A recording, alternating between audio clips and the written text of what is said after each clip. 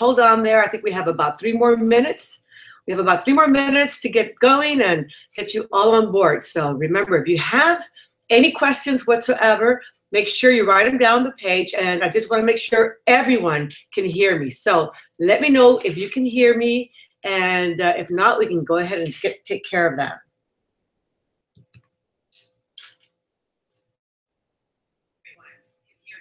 Yeah? So if you can hear me, great. I want to hear from you too, all right? Okay, good. A couple more minutes. We'll get make sure everyone is on board.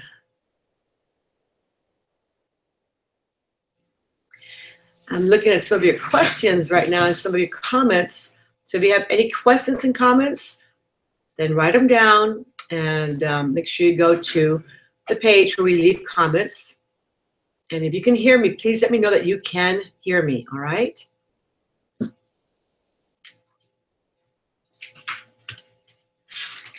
Great.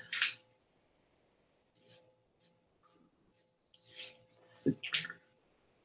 Okay, good. Almost about one minute to go.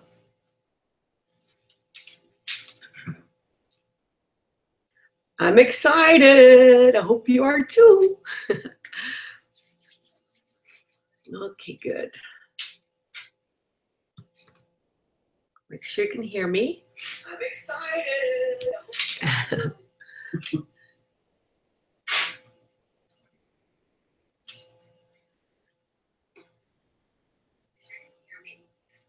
Sandra, I can hear it here too. You can hear me. Neil's checking with my tech here. Okay, guys, just want to say welcome to everybody for being here today. I'm really excited to do this this webinar, this free webinar on mastering Silva techniques. I think it's one of the things that is most challenging for people who come through the Silva method programs, whether it's audio or live. Live always being the best way to go because you're right there and all your questions get answered right, right away. Is that there's so much content. There's so much information. And because it's a very subjective experience, people always wonder, am I doing it right? Am I practicing right? I mean, what if I'm doing it wrong? And if you think you're doing it wrong, then chances are you're not going to apply your tools or what you learned in the training. So I really hope that this webinar will help to clear up a lot of these different questions that come to mind. Uh, at one point in time, we thought about calling it Silva Basics, but there's really nothing basic about Silva. It's very comprehensive. It's very rich in content. It's so has so much information that that really it's it's a very advanced program from the very beginning. And I think in some ways that's why we say you can master your experience by following what you learned in the Silva method. But there's always still questions. Because you don't carry an electroencephalogram you know, to measure your brain frequencies throughout the day or whenever you meditate, it's really hard to know what frequency you are in brain-wise. But let me tell you something that my father taught me. And he said that once you know how to go into your inner levels, and you do experience that when you go through the different meditations in the Silva training you start off with a long relaxation, which is a long 30 minute or so meditation that takes you to very, very deep inner states, takes you into even the theta frequencies, not just alpha, but you go from beta to alpha, which is in the green band, down into the, the theta frequencies. A lot of you, when you experience the centering exercise, you lose awareness. You totally don't know, you know, you don't recall information, but you're following instructions because at the count of five, when you're meant to open your eyes, you do open your eyes. So that means you're still following instructions, but in the meditation itself, because you go so deep within, the only way you go deep within is by slower brain frequencies, okay? So when you go so deep within, you're going to slower brain frequencies when you when you finally get to a frequency where you have really no self inner controls. So the, the meditations, especially the long relax, allows you to establish inner controls at different frequencies, slower and slower frequencies every time until you're able to have awareness in the alpha frequencies and the theta frequencies. And when you do that, then you learn how to then reprogram or rewire your brain with better programs that will suit you and your needs and lifestyle. Okay, so the goal is to continue to practice the long meditation or the, the centering exercise at least once a week, you know, or as often as you wish, so you can continue to establish points of reference with how you think, with your feeling, if it was physiological and mental or psychological, with your inner experience. Because the more points of reference you establish at the slower frequencies of brain, the easier it is to get back in those deep inner frequencies that are associated with deeper inner thought or a, a, a deeper inner state. And, and when you have those established, that mental state that you come to recognize is a subjective experience. The frequency of brain that allows you to experience those inner states is physical in nature because brain is a physical organ and frequencies is measurable and it's it's detectable. And so it makes it a physical experience. But it takes that physical experience of slowing down the brain frequencies for you to become aware of the deep mental inner state which is subjective. Once you recognize that inner state that leads to positive outcomes then you can access or recreate that inner state regardless of brain frequency. And I think it's, I mean, if you need to rehear this during the replay, by all means, go back and rehear this explanation. Because what this means is that you're able to internalize your focus, bring about that same sensation that you have when you're in that deep frequency or that slow frequency, and then picture outcomes or picture your, your goals already achieved or, or think about uh, projects or challenges or problems and how to resolve them. Do your thinking there and then open your eyes and take action. And in this way, you're really transforming the Silva tools into a very practical way of utilizing them as you need them. I teach this a lot in Silva manifesting, and we call that like Silva on the go, and uh, and or the the stoplight techniques, or the you know just the open eye meditations, because you can also meditate meditate with eyes open. But I don't want to get too advanced right now. Let's go back to the Silva basics. In the Silva in the Silva method, one of the first things that people ask is, how do I know that I'm at alpha? You know that you're going to know that first of all because you uh, because alpha is such an easy frequency to achieve. In fact, you know, if you just close your eyes and take a deep breath, you're probably already slowing down brain frequency from the uh, from the beta frequencies that are between 14 and 21 cycles of per second of electrical emissions. The moment you close your eyes, your brain frequency begins to slow down because the only um, sense that requires high beta frequencies to operate it is the focused sense of sight. That's it. So even if you like to focus your vision, like when like when you're daydreaming and or when you're like internalizing your thought process and your eyes go blur, that blurry vision as you're thinking, the state of reverie, hmm. You know, anytime you defocus your vision, your eyes don't have to be focused, obviously, and your brain frequency doesn't have to be so high. So the moment you defocus your vision and or close your eyes, then your brain frequency begins to slow down. So to get to alpha, which is between 7 and 14 cycles per second of brain wave electrical emissions, uh, is very easy. Now, what you want to do, though, is to continue your deep, rhythmic, slow, and paced breathing with muscles in your body relaxed so that you can continue to deepen that inner state and continue to allow the brain frequency to slow down. You do not need an electroencephalogram to measure your brain frequency because you're going to be an alpha. So trust in that. Trust in the fact that your brain frequency will slow down automatically as you close your eyes. Then, more so, as you pace your breathing and you make it nice, deep belly breath, not upper, upper chest breathing. no, it's like nice, deep. In through your nose, out through your nose. Nice, deep breaths, okay? And then if you have your muscles relaxed, it's even better. Okay, so that those are three things that are going to ensure that you enter your alpha frequency. Now, to deepen further, you continue with your deep breathing and your relaxed body into a very comfortable position that the only other frequency you can go to is going to be theta. Now, alpha is associated with dynamic active meditation where you can infuse it with emotion and with and with um, with your desire belief and expectancy especially when you're programming using mirror of the mind and theta you're not you're not going to do that. You cannot do that. Theta is passive. You might get impressions of maybe dream-like experiences or visions or words or phrases and then your frequency comes back up and you and you ask yourself wow what was that? And you analyze it a little bit and then you take a deep breath and you deepen some more and you go back into that deep frequency or deep inner state with a slower frequency back into theta probably.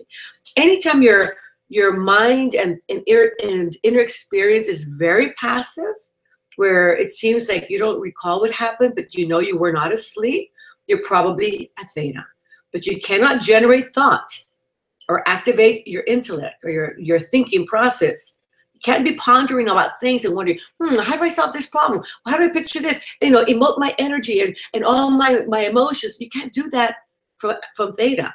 It's passive. You do that from alpha, where it's very dynamic. But you get the best of both worlds.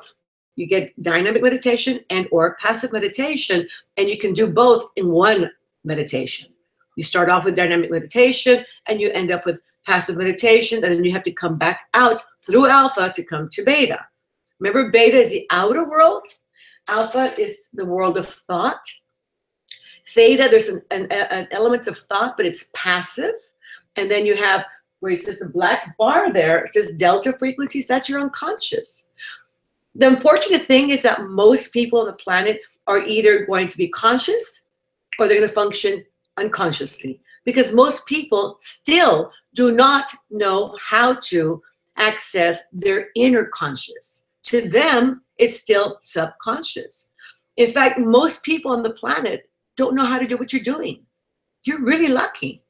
And so most people don't know how to activate or how to stay aware in those lower frequencies that for them is a subconscious, for you has been transformed into inner conscious.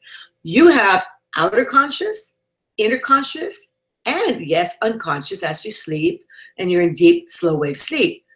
The rest of the world has outer conscious and unconscious. Interesting, huh? And even when they're doing daydreaming, they're not even aware most of the time that they're daydreaming. They're not, it's uncontrolled daydreaming. You can daydream with your eyes open, defocused vision, with controlled daydreaming. You can say, gee, God, I really hope I achieve that. I, I know, in fact, I'm going to achieve that outcome. Yeah, I will reduce another five pounds. I'm going to feel great. And you're picturing yourself at that ideal weight and size or the next level that you want to go to or the goal already uh, achieved. And your eyes are kind of tilted upward and you're creating images and you're feeling great, emoting these wonderful emotions. And all these things are wonderful for you to be able to continue to stay connected with your goals and continue to do programming throughout the day as you need it, even if it's just for a few seconds at a time but you're always connected with that, okay? So going back to what we're talking about here, let me just make sure that everyone's with me here. Going back to that, we want to make sure that that you recognize the fact that you are at alpha. Now, some of the reasons that we think that we're not at alpha is because we feel like we're very awake. Yes, alpha is a light, wakeful state It's not a deep, uh, inner, deep, heavy experience. No. If I close my eyes right now and I bring back those feelings of that lead to positive outcomes, that inner state, I'm at alpha. And I can talk to you, I can jog, I can garden, I can cook. As long as my eyes are defocused and I'm picturing outcomes here my mental screen area, then I'm at alpha.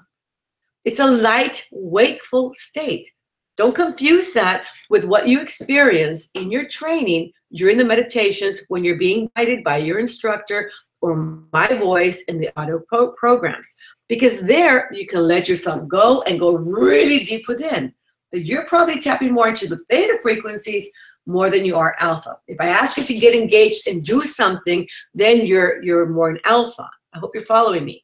Uh, but don't think that because you're in a light, wakeful, chatty inner state that you're not there. You are. Remember that brain and, and, and mind and intellect is going to be processing information all the time. It's never going to be quiet. What you might do is, is discipline your thoughts to focus on maybe achieving your goals, on being in the experience. And then you might wander off again, you bring it back, go back to achieving your goal, being in the experience. And then you might think about dinner, you bring it back. Or you might think about a challenge, you bring it back and go back into the experience. That's okay. You're normal. Guess what? You are perfectly human, okay? And you're doing it just fine. It's when you go into your theta frequency that you're in a more passive, quiet inner state. But then you can't really work on your goals or, or create your outcomes from that point, from that deep inner state. It's great to be there. You have passive and calm mind. It's very beneficial and very healthy and very healing, but you cannot really work on your goals and, and, and solve your problems from there. You do that from alpha. Even though, even though your mind wanders, you bring it back. And, you, and it wanders, you bring it back. You're doing fine, okay? So don't let that stop you from practicing. Even if you do it for 10 seconds, you're going to get benefits that you can't imagine. All right, so you're doing great. Uh, so I just want to make sure that that um, you know Autumn is saying listen to a reference brain frequency slowing down as we breathe deeply. I seem to always tighten up again and breathe shallow again when I begin the mirror of the mind or laboratory. And you know what? That's okay, especially when you get excited, right? Like when I am doing the mirror of the mind, or I'm in the laboratory, for example, and I'm working on something and I start to work on things, sometimes I get excited. Excitement has an element of emotion attached to it. If the, if the emotional aspect is going to be something positive that's working for you, like I picture my myself already achieving this amazing outcome, and like, oh my God, I really love it. I feel so good. I really, really want it. I desire it. I believe I can make it happen. I'm going to make it happen without a doubt. And uh, yeah, I find myself breathing more, more in a more um, shallow way. And then when I'm in the experience, I can take a deep breath and just really enjoy it. And, and now I'm in the experience and experience of achievement and I'm doing great. And now I can relax in there because now I'm not I'm not working towards that. So yeah, you're going to experience all these things. And when you catch yourself, you might wonder, is it better for me to be, is it better for me to breathe deeply? Or is this okay? Am I, am I connected to my goal? Am I connected to my outcome? Am I connected to my, my experience of achievement? Is this what it feels like? Yes, it feels great. Then you're fine, okay? So you're doing good. Don't, not to worry, okay, Autumn? Um, Christina says, how do you defocus your eyes at beta? Easy. You're not going to focus at beta, actually. You're going to go from beta to alpha when you defocus, all right? That's our goal. That's what we're always aiming to do.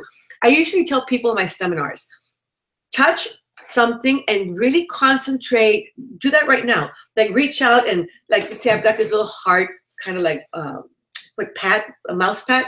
But if I get this little heart mouse pad and I touch it and really concentrate on the texture, the temperature, concentrate on the shape, what's happened to your eyesight?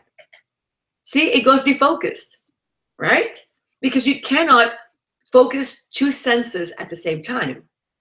So yeah, I'm not even hearing my environment that much if I'm totally concentrating on what I'm touching, then it's a sense of touch. If I'm really fully concentrating, I sometimes even close my eyes, but if I keep my eyes open and I concentrate on what I'm touching, then everything else gets defocused. But if I concentrate on what I'm hearing, then then touching gets to focus. so does eyesight, smell, and taste. So again, what are you focusing on? So I would say concentrate, eh, do these little experiments by yourself, these little exercises where you begin to recognize how your eyes get defocused. Sometimes we drive from one point or from one location to another, and then we think to ourselves, gee, I don't remember actually driving it because all along you're like thinking about work or thinking about the children or thinking about your relationship and you're driving i mean you know you're getting there because in, in, even with defocused vision you can get to your outcome. You see red lights green lights yellow lights whatever. You stop you go you notice you have a, a level of awareness. Your intelligence is always aware but your vision is not always focused. Have you noticed that? Okay so that defocusing of the vision is something that's easy to do and you can practice it. Anytime you concentrate on images instead of what you're seeing. So if you open your eyes and you picture your, let's say, a future you having achieved your outcomes, and you're picturing on that space, that area that's past our eyelids, away from our body, out here. If I begin to picture on my mental movie screen what I want to achieve, you can't have focused eyesight. Just practice with that, experiment with that, okay? So I hope that helps you, Christina. And I love you too. so, okay, good. Um, and there will be a recording of this afterwards because I know I'm hoping to cover a lot of information. So I do want to make sure that that um, you get the, the recordings that you can really enjoy that. Now notice every single meditation, starting with the long relaxation, is has a purpose. The obvious one and the not so obvious one. The obvious one for the long relaxation or the centering exercise, we also call it the long relax.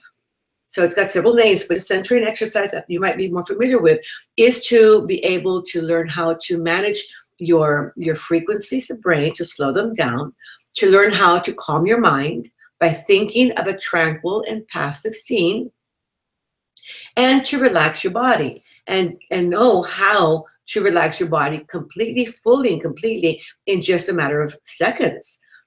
You'll remember that in the long relaxation, the first thing we do is to enter our inner state.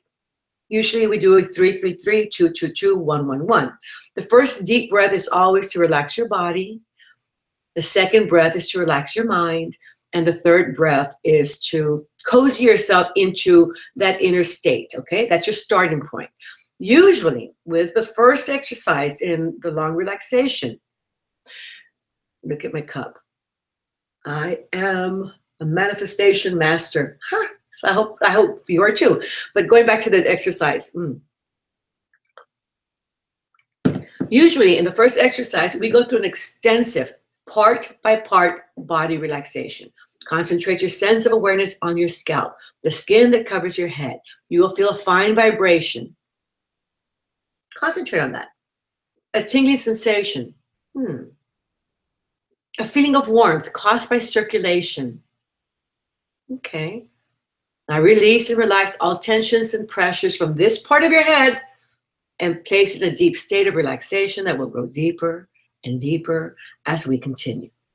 Now, during these exercises, it is important to have nice, deep, slow paced belly breathing, okay? Rhythmic.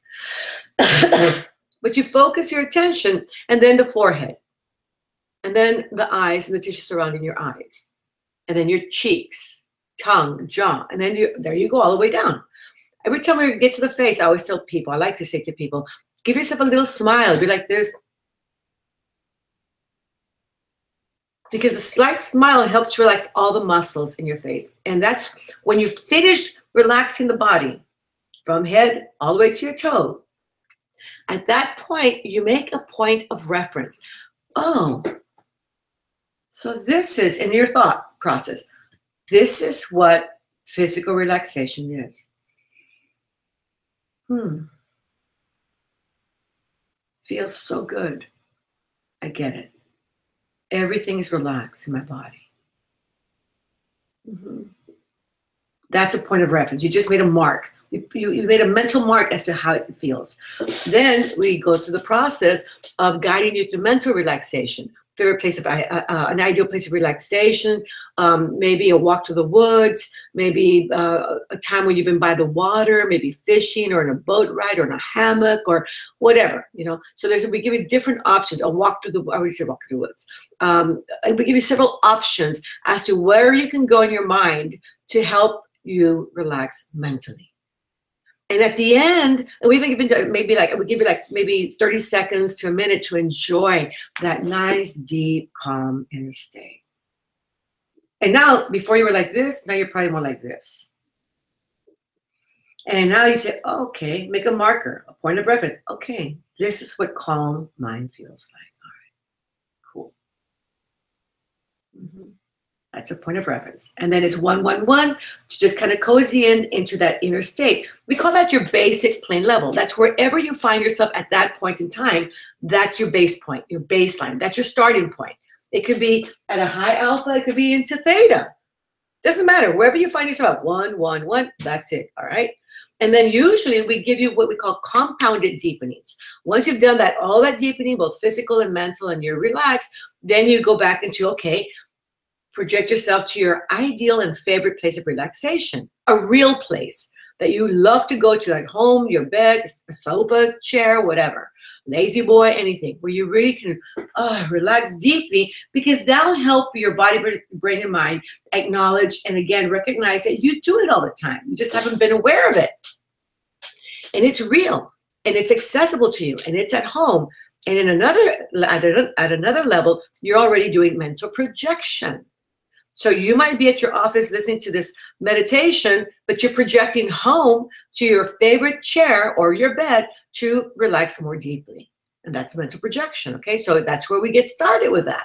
So, anyways, there we go. And then we say, okay, now another compounded uh, deepening, which is relax your eyelids and allow this sense of relaxation to flow slowly downward, all the way down to your toes. It's a wonderful feeling to be deeply relaxed, a very healthy state of being. And then we do another compounded deepening from 10 to 1. 10, feel yourself going deeper and deeper. 9, 8, and we go all the way to 1. I like to feel like I'm on, the 10th floor in an elevator and it's descending quickly towards 1, and you have that feeling of descension that's what I like to imagine because I can, I, I, mean, I'm in elevators often. I know what it feels like, that descending feeling, that going within like that.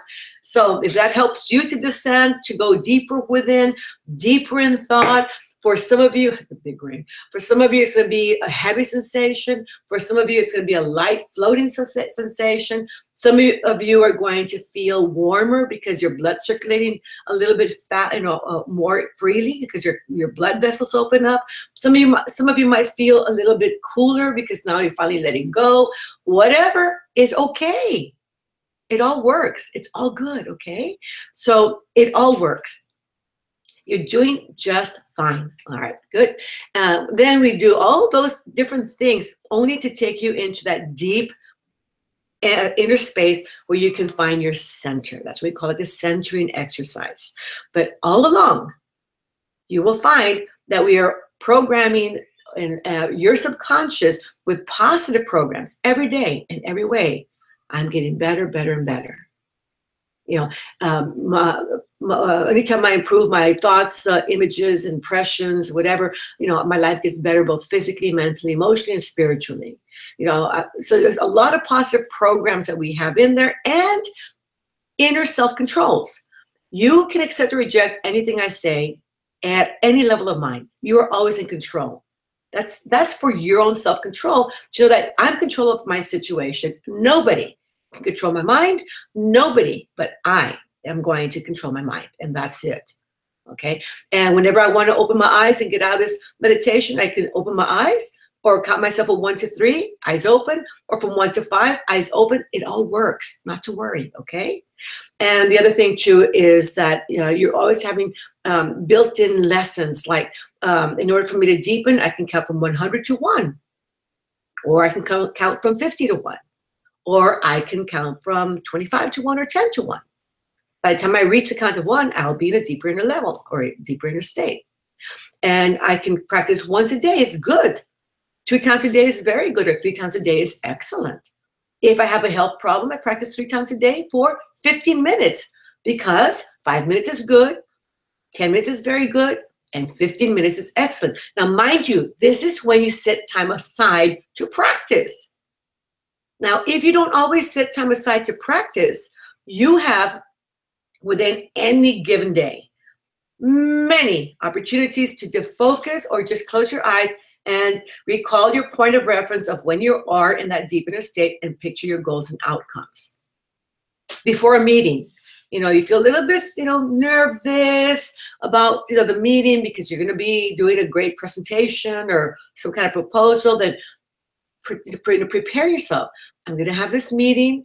I'm going to walk in. I'm, I'm going to be calm and in control. It's going to be going great, great rapport. I meet with them. Everything's fine. And then lock it in with your three fingers technique. And I'll talk a little bit more about that. Okay. And now you're, you're prepared and you picture the outcome that you wish. You open your eyes and now you're ready to go. But keep your fingers together during the meeting. Okay. Might help you. Okay. So, but that's when you apply it on the go as you need to throughout the day. But when you set time aside, five minutes is good of practice, 10 minutes is very good, and 15 minutes is excellent, okay? Ideally, three times a day. Nobody has an excuse to not practice at least twice a day. Nobody. Because you have to wake up in the morning, stay in bed for one, two, three, four, five minutes or more, and plan your day. You have to go to sleep and go through alpha to get to delta at night. So there's no excuse. Go to sleep with a meditation, planning tomorrow, reviewing today, whatever you need to do. So there's no excuse. And throughout the day, go in and out, in and out, 10 seconds, 15, 20, 30 seconds at a time as you need it. Okay. And always converting chaos into flow to keep yourself centered and managed. Instead of manifesting, we do the one minute meditations. And if you were to just pause and, and just go within for one minute, several times a day, your day would be in flow. And one minute in a meditation seems like much longer. That's why we use, uh, sometimes we say, when you hear my voice again, an hour of time will have elapsed at this level of mind. Now, we say that during the meditations, especially with a centering exercise. Why? Because there is no sense of time when you're meditating. So we can really take advantage of that and make even 30 seconds very worthwhile, okay? All right, good. So correct way of entering alpha, basically, is just, as I mentioned, closing your eyes, taking a deep breath, relaxing your, your body physically, relaxing your mind, and then continue, continuing to breathe deeply, slowly, and rhythmically. Now, those of you who know the 321 method, obviously, you're going to have the first deep breath, which is 333, to relax body. And remember how good it feels or how good it has felt every time you Practice long relaxation and relax your body just as much. Another deep breath. And as you exhale, relax your mind by thinking of a tranquil and passive scene. And the third deep breath to be in your starting point, And then from there, you get going. You can do a 10 to 1 countdown if you want to deepen further, or just get right to your, your purpose, the purpose of your meditation.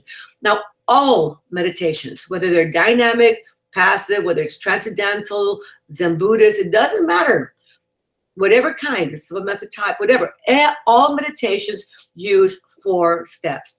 You enter in some way that usually requires you to close your eyes for the, for the reason I explained. The second one is that you deepen your state by relaxing your body, muscles, and your mind. The third is to do what you're there to do, the purpose of the meditation. If you're doing Silva, Mirror the Mind, or something like that, you, you're setting goals. You're maybe doing self pain management. You're using the, te- the formula type technique. You're whatever. And then you're going to exit. And you can exit by just simply opening your eyes or giving yourself a more gradual exit of one to five or one to three, or by going to sleep. When you do your meditations at night, you're going to go into your meditation and from there, just go to sleep. Don't bring yourself back to beta to go back down into delta. No. From your meditation, whether you be at alpha or theta, you're closer to deep, slow wave sleep from there. So don't bring yourself back out. From your meditation at night, just go to sleep. Okay? All right, good. I hope that helps. Um, let me just make sure that we're good here. And if you have any questions or comments, please um, make sure you ask me. And if you asked the question a long time ago and I haven't seen it, then ask it again, okay? So Autumn asks, so you can go to level without long counting down and elevator two? Of course you can, especially once you have established your points of reference with physical and mental relaxation, what it feels like to you. When you're familiar with that inner state, by simply recalling that inner state and, and continue to, to do your deep breathing, that would be your deep, slow pace, rhythmic, breathing. That would take you there. Okay. How do I feel that my feet are not connected to my body? And where do I picture my feet? You know, just imagine it. You know, if I had no feet, how would that feel? And the reason we do that is, and I sometimes some people might feel uncomfortable with that exercise because we say feel your feet as though they don't don't belong to your body. Your feet, ankles, calves, knees, thighs, shoulders, arm, shoulder, I mean thighs, waist, shoulders, arms, and hands feel as though they do not belong to your body. At that point in time, you only experience yourself as inside, interstate, whatever, outside the boundary of what is the physical body. You know, mind is everywhere. You connect with mind and intelligence everywhere. You know, that one energy that we are all a part of. And so to get to that that point uh, really requires you to be in a very deep inner state. So desensitization, um, uh, where you feel, you don't feel your body happens mostly at the theta frequencies. But when you go through the deep part by part body relaxation that we go through with the centering exercise, chances are very high that that's where you're at. So to feel like your feet don't belong to your body or your body is non-existent is something you can use your imagination or just take it for granted. So just what, what, what would my body feel like without feet or ankles? or legs or arms, what might what would I feel like without a body? How would that be? And just allow your imagination to come up to muster up anything that resonates most with you. Okay. But again, you, a lot of these things happen, well, or will happen more obviously or more evidently to you with practice. So the more you practice, the less of these questions you're going to have. Okay. So practice. Um, let me see. Great, great. Is uh, inner conscious and subconscious the same? The same frequencies, but different levels of awareness. That's a Susanna asked that. So subconscious is is the same alpha and theta frequencies, uh, but for people who have no awareness uh, uh of being there, no access to them with awareness. But when you do meditation and when you do establish your points of reference and you go deeper and deeper every time, you're transforming the subconscious. Subconscious, remember, all means below awareness. So you're transforming the subconscious into your inner conscious. So for you, it would be no longer subconscious, more so it would be inner conscious, okay? But the deeper you go, and the more awareness you establish those deep inner frequencies, inner levels of, of within you of mind, of intellect, um, then it's more, um, it's going to be your inner conscious. All right, good question. Um, the three fingers technique. Okay, so the question that Sara is asking is that um, about the three fingers technique. In the meditation, you say to put your fingers together, but how long do I keep them like that? Depends. If you are just locking in or programming the three finger technique in a meditation, you just want to say, by putting my three fingers together like this, I will be able to enter my alpha frequencies, one hand or the other or both. That's your choice, okay? I normally just use one hand. So by doing this, but if I'm going to program it, I might do both. By putting my fingers together, this will allow me to enter my uh, inner state easily and quickly with just simply pressing my fingers together. And you locked it in, you programmed it, okay? Now, if I'm gonna use it, and uh, they say before a meeting, then I might just close myself, my eyes on the spot or do a meditation have, if I'm capable of or have time to do that. And I'm gonna say, I'm having this meeting. I'm gonna go, uh, you know, talk to my boss and make this presentation my breathing is right, my eye contact is perfect, my posture is tall and confident, my voice is clear, I am articulating clearly, my thoughts are flowing very, very clearly and precisely. My presentation is going to be just perfect. I'm going to make a great impression because I'm going to be rested. I'm going to look great. I'm going to be feeling confident. And when you're feeling all these great experiences, this great you, during the meeting as if you're presenting the meeting already in the best ways, you lock it in. When you lock it in, you say, this is how I'm going to be during the meeting. And then you just experience yourself doing a great job with your fingers pressed together. All right. So now you can open your eyes, walk up to the boss's door, knock on the door, take a deep breath, press your fingers together, and walk in with your fingers together because it's such a comfortable position of the hands, it's very unnoticeable. And then during the meeting, I would either leave my fingers together, press like this as I'm talking, or press them as I need to throughout the meeting to keep me focused and connected, confident, and and and just you know positive all the way through. Okay, I hope that helps. But the three fingers technique is one of those techniques, because it's come up several times, that you're able to utilize for so many things. It's, it's probably the technique I use the most because uh, the three fingers can be used to access uh, inner resources. And remember, you have access to every single resource that you can imagine. All of you have been confident at something. All of you have been courageous at something. All of you have had self inner controls at, at in, under, in some context. All of you have whatever, okay?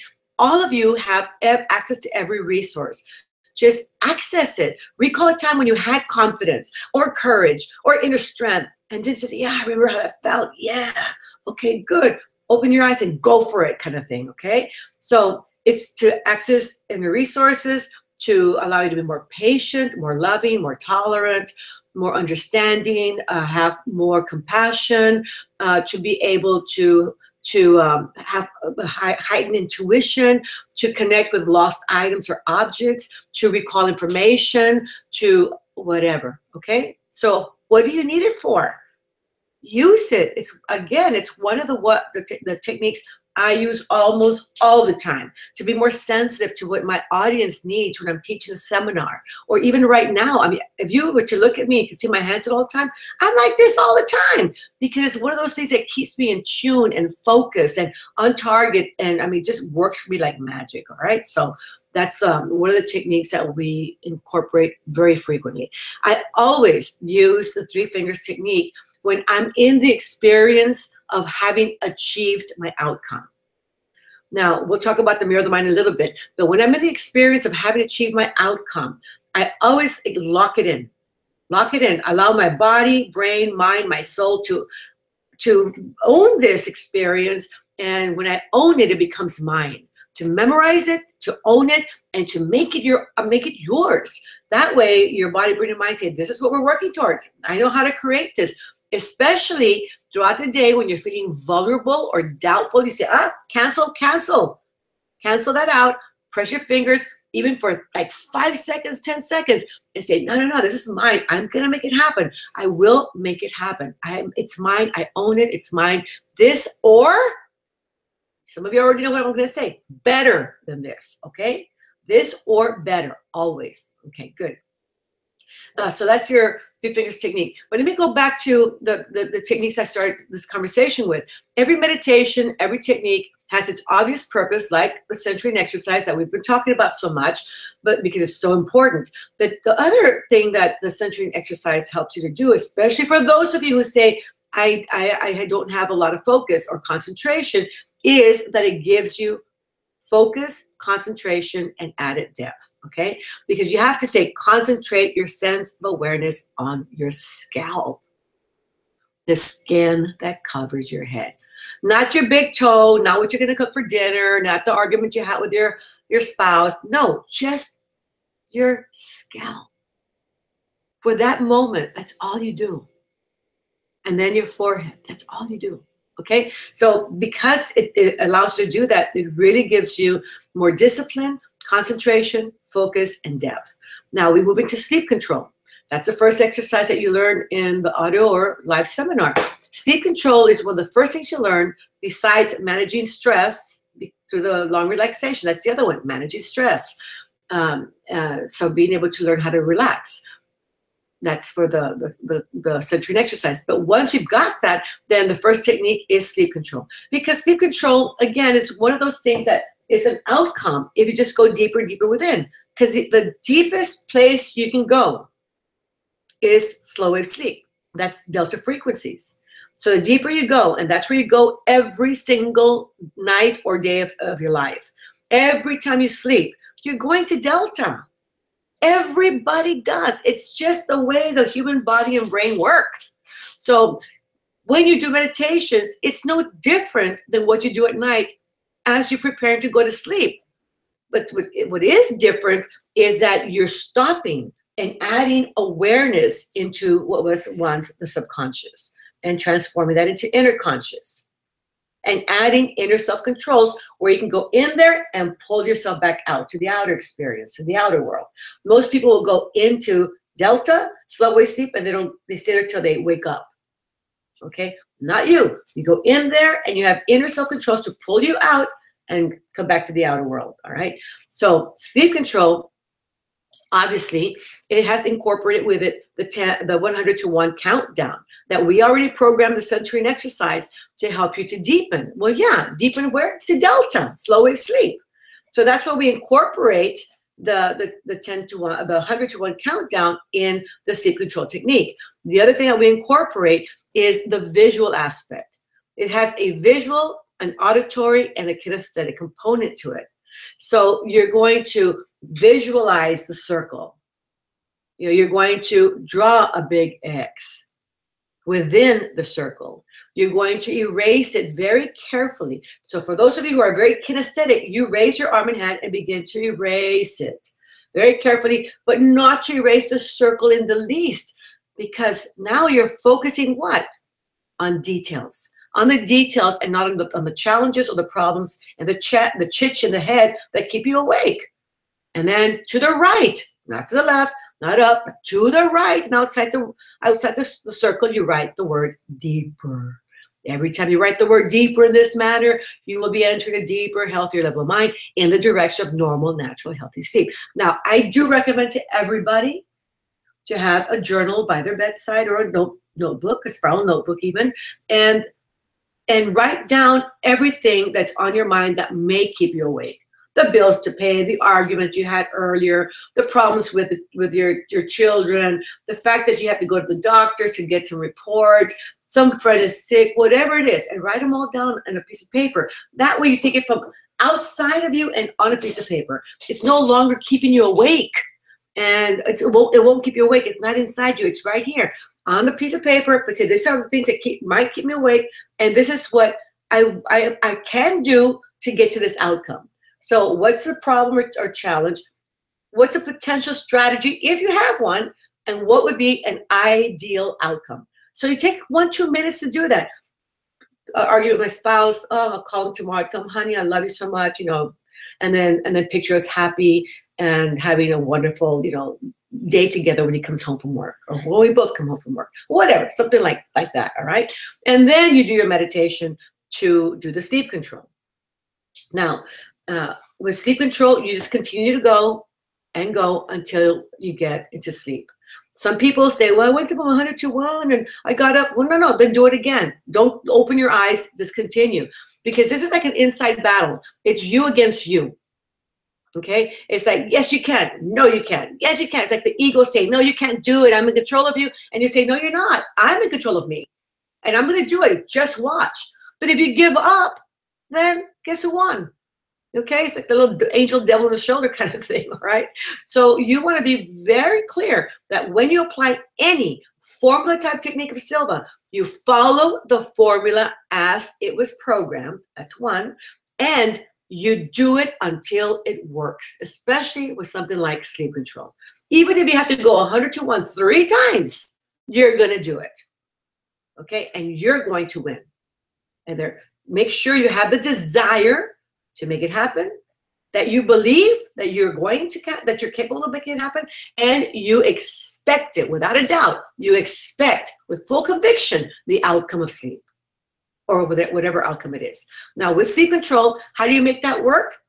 Stick to the formula and watch your pitch and pace and volume of your inner voice. You're not going to say 100, deeper, 99, deeper, deeper, deeper. No. You're going to use a sleepy voice 100, deeper, 90, nine. Erase. Deeper. You see the big difference? All right, so the, the the the very excited voice is what you want to use in the morning when you don't when you can't get yourself up when you go like oh, I don't want to get up. At that point, you say, "Come on, get up, get up, let's go. It's time to go to work. Get dressed. Let's take a shower. Let's go exercise. Whatever." So make sure you switch the voices around. The excited voice in the morning, the sleepy voice at night. Slow, low, and very paced. Okay. Okay, it's low pitch also, all that. These are the things that are going to make this technique work. Be persistent, be tenacious, stick to the program, make it happen. Because once you do it once, you'll always make it work after that. Then we have sleep control, then we have the clock technique. The clock technique is one of the techniques I hope you use every day. You do not, at this point in time, should be using the alarm clock to, to, to make to wake you up in the morning because alarm clocks are alarms and we don't want to have alarms waking us up. And we want to make sure that with the clock technique, again, you engage your visual, auditory, and kinesthetic elements. I visualize the clock very clearly, and if you need to put an analog clock, put an analog clock too. I mean, a, a digital clock, because a lot of people aren't, aren't that used to analog clocks anymore. Remember that these techniques were, were created back in the 60s, in the 50s, actually. And so the clock, although I resonate with because I've used it all my life, I also sometimes have a digital clock on the side on my mental screen as well. On my mental screen, not a real one. And then I, I move the hands of the clock. If you need to engage yourself kinesthetically, move the hands to the right time. And I see the numbers flipping on my analog clock. And when I got the numbers, I say affirmatively. So that's a visual, auditory, and now kinesthetic. This is the time I, I want to awaken, and this is a time I am going to awaken. If you need to, especially those of you who tend to wake up during the night, then imagine that you're sleeping soundly through 12 and 1 and then 2 and 3 and 4 and 5 and 6 and 7 and that you wake up and you look at the clock exactly at the time that you want to awaken okay? And get up and out of bed all right? All right now the other thing too is uh, with this technique is that a lot of people are satisfied with just waking up close to time, close to target. And I say that's not what the goal is. The goal is to wake up on target all the time. So if you're used to doing seven o'clock in the morning or six o'clock in the morning, do 602, uh, 558, 607, you know, whatever it is, and change it and wake up exactly at 602 or 558 or 607. That is magic. Because if you can do that, then what other goal will you not manifest? Yeah, the technique is to wake up without an alarm clock and to have more self inner controls. But the more, the greater uh, purpose of the technique is to manifest. To manifest all goals whenever you need to manifest them at any given moment, at any point in time. So the clock technique is setting a goal to wake up at a specific time in the morning. So what about getting rid of a tumor? Or doubling or tripling your income or finding the love of your life. I mean, come on. If you can do the clock technique the way I'm telling you, and you can, then you can do anything else that way. All right. So remember that. Sleep control, awake control, and then the energizing technique, like the, the headache control technique, uses five steps. You identify the pro- problem. I'm sleepy and and and and then you state the out the, out, desired outcome. I don't want to be sleepy. I want to be wide awake, feeling fine and healthy. That's identifying. First, you identify, and then you state your desired end result. Then you lay out your plan. I'm going to count from one to five. At the count of five, I'm going to open my eyes, be wide awake, be energetic, and alert. And then you carry it out. One, two, coming out slowly. Three, remind yourself of the outcome. At the count of five, I will open my eyes, be wide awake, be energetic, and alert. Four, five, claim your outcome. Eyes open, wide awake, feeling fine, energetic, and alert, better than before.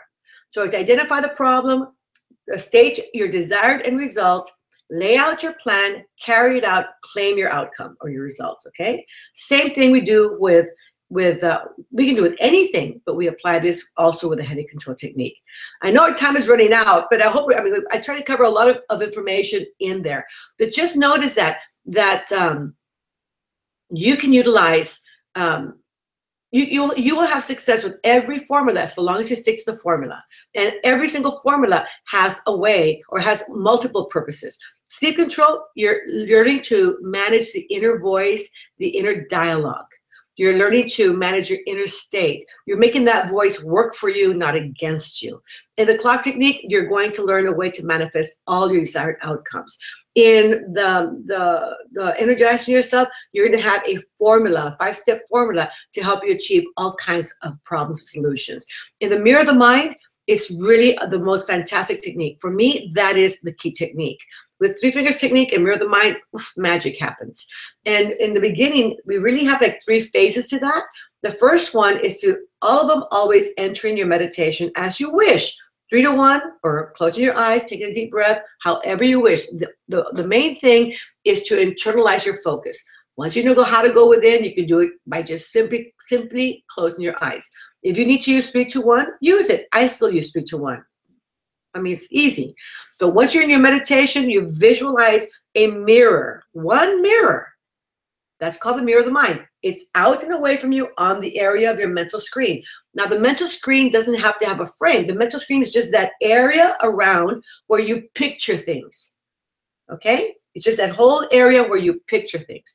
But on that mental screen, that mental screen there, you create a mirror that can be amplified in size that to put into the, the frame a small scene or a large scene, one person or many people and its color is blue. Blue simply denotes your current situation, which could be the problem as well. You study it for a few moments. You project it, and then you study it for a few moments just to know this is my starting point. This is what I'm leaving behind. This is what what I created because you did create it, and you might even want to acknowledge what you did to allow this to happen, or you created it, or you allowed it to happen. But that's not what I want anymore. So you erase it any way you can imagine. Erase it, move it towards your left. Obviously, for you, it's this way, but towards your left, and you change the color of the frame to white. And now you project within the white frame the outcome image. And, and then you leave it at that. And now you evolve the outcome image as you wish. And make sure it's really compelling, it's very desirable. You believe you can make it happen. You must believe you can make it happen and you expect it without a doubt to make it happen, okay? That's step one. That in itself is a way we practice the mirror of the mind for almost 50 years. And as time continued to, to evolve from the beginning of the Silva method till maybe the maybe 2000, I started to bring in other, other elements. I, I started to bring in more of the desire, the belief, and the expectancy. So step two is to do the same thing but when you create your outcome image, is to really desire it. I really desire this. I want this so much. And you know what desire feels like. You know how desire is going to make a difference in your life and, and how it has played a role in the past. Because from desire alone, you made a lot of things happen. I really, I know it's going to happen. I know I'm capable. I know I'm worthy of it. I know I'm deserving. And I know, and knowing is believing and I expect it to happen. Absolutely no doubt whatsoever. And you have made things happen because you, in your past history, because you believed in it so much, or because you knew it had to happen. You you expected it. Right? So you build those energies, subjective energies of desire, belief, and expectancy eh, to make it really powerful. So you added another element, which is the energetic component. And the third step and you can do this from the very beginning as well, is to do the same thing, build a lot of desire and bring that image closer to you. Build a lot of belief. I know I can make it happen. I will have I will make it happen. I'm worthy of it. I deserve it and bring it closer still. And I know expectancy. Eh, you know, any moment now, it's going to happen. It will happen. And you bring it closer enough where you can step into the image of you that has already achieved. When you step into it, you want to like, kind of like just step into it and just kind of be one with it, okay? You want to become one with that image and now experience that you, that future you who has different thoughts, different beliefs, and different behaviors. You have to. You cannot possibly have the same thoughts, beliefs, and behaviors and become that future you. You get it? So, in order to be that future you, you have already elevated your thoughts, beliefs, and behaviors. And now notice how that feels to be that future you. That future you who has more income, or that future you who has found the love of your life, or that future you who has reduced 10 pounds, or that future you who is on this European vacation, or whatever. It feels great. And now you emote, have the emotions. I love this life of mine. I love this me. I love what I have achieved. I love what this, you know, all this kind of stuff. So uh, emotions, coherent emotions of gratitude, appreciation, love, you know, positivity, all of these things are really good. So not only now do you have the subjective energies of desire, belief, and expectancy, but you're also adding to that your the emotions that are going to make to project out into the field around you that are going to attract more of what you want to achieve. And the, and then you lock in that experience of achievement when it's at its peak. And now anytime during the day when it comes to mind you just say yeah you put your fingers together and you go back there goes yes. Ah, feels wonderful. Okay open your eyes and get going okay and you can do this many times during the day keeps you connected to your goal, to your target, right? I know there's so much I can tell you here. There's so many things. Um, and a Mirror of the Mind, that's one of the things that you're going to utilize to not only heal yourself, but also to project healing energy to others. You can picture that other person, project, you know, and send them healing energy picture that their body is shaping up and doing better and better. Project energy from your hands, blue, white, and color, right from right to left. If their heart is wrong, imagine their heart right there, and you're projecting energy to their heart, and their heart's getting better and healthier. I mean, go over your tools and techniques; they're there. But I just want to make sure that that they're, that you're noticing when you're doing your meditation that the meditations themselves and the formula type techniques have elements that that incorporate your visual kinesthetic and auditory components that they are helping you to have internal controls of how to manage your internal dialogue the voice in your head. That voice in your head is really going to support you or belittle you. So you want to support you that you bring in energies of desire belief and expectancy and emotions that are positive emotions to boost you up and that every time every time that you picture outcomes that you don't just picture them separated from the outcome but you actually go into the experience and you lock it in okay? And when you lock it in you're able to connect with it frequently throughout the day. That what you practice and learn in the audio programs and in the live seminars is training. How you apply what you learn in a practical way is that you go in and out in and out by just closing, your eyes briefly or defocusing your, your vision and just concentrating on the images and the inner experience and then blinking and coming back out again. You have no excuse to practice in the morning as you wake up because your frequency is still at alpha and no excuse to practice at night as you're going to sleep because you've got to go through alpha and theta to get to delta, okay? And again, um, there's a lot that we can work on. Um, how can I stop the constant mind chatter every time I go into the 321 level? Don't bother. Just focus on picturing the 333 or hearing your voice 333 and then 222. If you picture and focus on the on the 333 and relaxing the body, that's what it's meant to do. It's a trigger mechanism for physical relaxation. The chatter is less. If you focus on being in that tranquil and passive scene with 222, the chatter will be less. The more you focus on the internal experience and what you're there to do, the less the external chatter gets in the way. And then again, one, one, when the chatter gets in the way, pay attention to it. Maybe you need to focus a little bit of time on that little chatter and say, you know what, I don't care what you're telling me, not now, I'm not interested. Or thank you for telling me that. Let me put some energy to that during this meditation. Okay? That you manage the chatter Either pay attention to it or tell it right off. I'm not, I don't need you right now. You can come back later. Go take a break, have a coffee, go have yourself some tea, go to sleep because right now I'm busy. And just address it to it and and take action, okay? Um, what I recommend on a daily basis to maintain overall ideal mindset, both spiritual, emotional, uh, healthy, or and I would say physiolog- physiological and, and mental, uh, intellectual. Um, and how frequently, I think I've already told you that. Morning, no excuse, nighttime, no excuse, during the day, in and out, in and out. So I always do imagery. I always get into the experience. For me, um, Mirror the Mind is one of my key techniques because it really covers a lot of ground. Um, started six months ago. What techniques can I integrate into my life practice to help me remember and learn the techniques? The mental screen is really important because your mental screen is where you picture things. When you picture something on the mental screen, whether it's going to be your notes, your phone numbers, people's faces uh, attached to their names, whatever it is, and you tell yourself, I, my memory gets better and better every day. Remember that everybody has perfect memory. What we have is poor recallability. And the reason we have poor recallability is because we don't impress information strongly into our brain.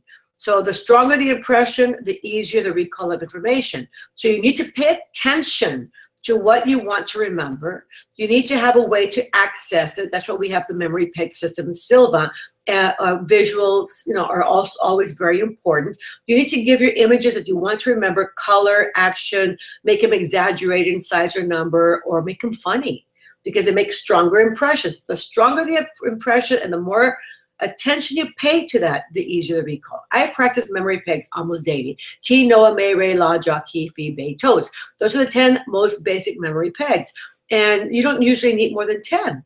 So I would urge you either go back into your, your, your workbook, look at the 10 memory pegs, or get Bruno's Bruno Furst, B-R-U-N-O, F-U-R-S-T, way back, old information, but very effective uh, course on memory.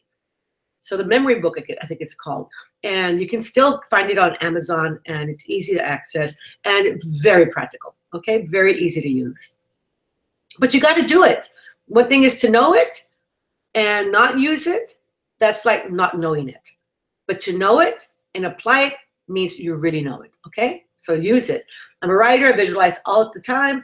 Um, but the type of visualizing for the meditations for Silva feel unnatural and forced to me. How do I adapt them to be uh, more natural for myself? Thinking, just do it. There's no reason why you have to do what we tell you to do exactly the way we tell you to do it. The only thing is that when you have a formula technique program, like when you picture the clock or do the sleep control, yeah, that is a more um, structured uh, formula. It's a recipe, like a recipe for a cake. You're going to follow the recipe because that's the way it's programmed to get the outcome. But if you don't need to use sleep control, don't bother with it. If you don't need to use a clock technique to wake up because you already wake up naturally in, in your own style, then do your own style. These are formula type techniques that are there for you that you can apply when and if you need them. Okay? So there's no excuse for any of you to have any problems uh, that are ongoing. Now, yes, welcome. I always welcome challenges and projects into my life because they allow me to use my wisdom and my knowledge and my tools, my techniques, and I solve them. And I go, okay, next. But to think, to stay with the same problem over and over and over again, that's ridiculous. Okay, so totally ridiculous. Um, so adopt them to to fit your style, but just get to the point where you feel confident with what you've learned, and then make all kinds of changes as you wish or need to. And someone uh, made a recommendation about getting a charitable charitable charitable trust for the welfare of children or needy people where Silva practitioners can donate to. I think it's a great idea. Um, you know, we always donate a lot of stuff. As you, free webinars is one, one way. We, we, we donate locally a lot to, to the orphanage, to the church that we belong to, to needy situations, people, things like that. So I think we all need to do our own thing, our own a part. If we all did our own part and, and donate what we have and, and know, and if you let us know how we can help, by all means, we're always help happy to help and willing to help. Um, but let me let me talk to you know the guys around here and see how we can more so maybe create some kind of trust that all of you, uh, whenever you want to, maybe we can put a little post in our uh, on the laurasilvaquesada.com page, and then you can just go ahead and and say I donate so much money and we can keep you posted as to how donations are growing and where you would like to donate to. That'd be great. So Farah says, thanks so much. She was delayed, but this she did join.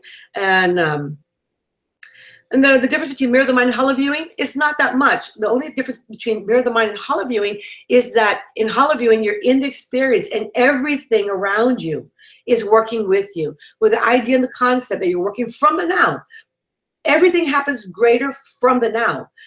so now you're in the now and everything, everything that's alive and, and, around you, your dog, your plants, the people around you, you, you can be everything in the experience as well. You're one with the doctor or the lawyer or the judge or your children. You're the one and the same with your pets or whatever. And all of you are working towards that outcome. Okay, so that's a really, that's a different experience within the whole experience of looking around. But when you get to the mirror of the mind, step three, where you go into the experience, it's very similar. So you can choose one or the other. All right. Well, guys, gee, I, I hope I answered a lot of your questions. I know maybe um, there's some things that you might uh, want to ask more of, and we'll be happy to help you. And hopefully, if you like this kind of an approach for the webinars, then we'll be happy to, to do this more often with you. And just notice that we do have a for pay webinar coming up and it's going to be a little bit longer, two and a half, maybe three hours. I'd say about two and a half to three hours. Um, February 22nd, and that's going to be on subjective programming. And that goes back to self and or others and how to use the subjective experience for programming. I know I've kept you way over.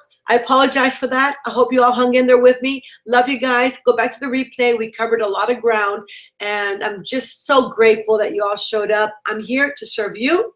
I work for you. Remember that, okay? Talk to you guys later. See you soon, and keep us posted. Keep in touch, okay? We want to hear from you all the time. Mwah. Love you guys. Bye.